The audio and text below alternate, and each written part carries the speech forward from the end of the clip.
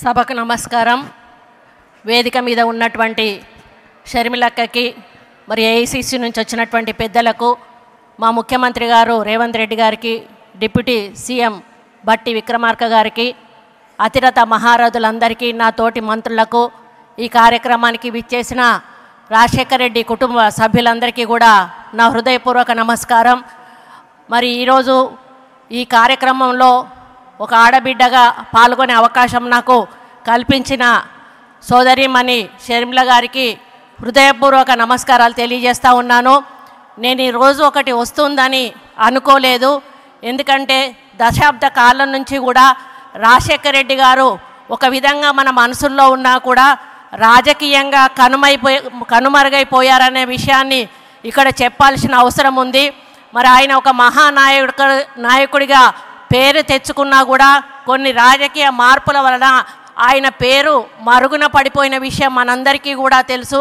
కానీ ఈరోజు రాజశేఖర రెడ్డి బిడ్డగా వైఎస్ షర్మిల గారు మళ్ళీ తన తండ్రిని ప్రజల్లోకి మరి తీసుకొచ్చి నానా నేనున్నాను అనేటువంటి ఒక భరోసా కల్పించి రాజశేఖర రెడ్డి గారిని మన ముందుకు తీసుకొచ్చినందుకు మరి వారిని అభినందిస్తూ ఉన్నాను.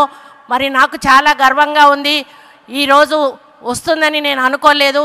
ఎందుకంటే ఇప్పుడే రామచంద్రరావు అన్న చెప్పినట్టుగా నా భర్తకు ప్రాణదానం కల్పించిన రాజశేఖర రెడ్డి గారి కోసం ఆ రోజు నేను మంత్రి పదవిని వదిలిపెట్టుకున్న విషయం మీ అందరికీ కూడా తెలుసు.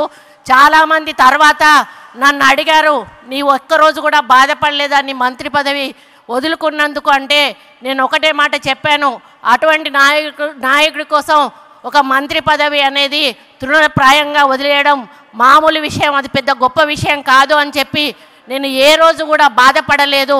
కాబట్టి అటువంటి మహానాయకుడు మన కాంగ్రెస్ పార్టీలో ఉండి మనకు సేవలు అందించి మళ్ళీ వారి కూతురు ఇక్కడ కాంగ్రెస్ పార్టీకి మా బాధ్యత వహిస్తూ ముందుకు తీసుకెళ్తున్న తరుణంలో పొన్నం ప్రభాకర్ అన్న చెప్పినట్టుగా తప్పకుండా రేవంత్ అన్న మా కా తెలంగాణ ప్రజలందరం కూడా ఆంధ్రప్రదేశ్లో కాంగ్రెస్ పార్టీ అధికారంలోకి వచ్చే వరకు మీ వెన్నంటి ముందుకు నడిపిస్తామని తెలియజేసుకుంటూ ఈ వేదిక మీద నుంచి మా ముఖ్యమంత్రి గారు రేవంత్ అన్నను ఒక్కటే రిక్వెస్ట్ చేస్తూ ఉన్నాను.